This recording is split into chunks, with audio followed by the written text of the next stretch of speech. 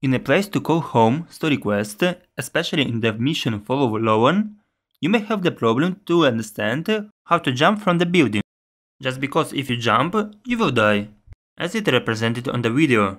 For this reason, go to your inventory and you'll find that you get also paraglider that you need to use to fly on the other side of the building.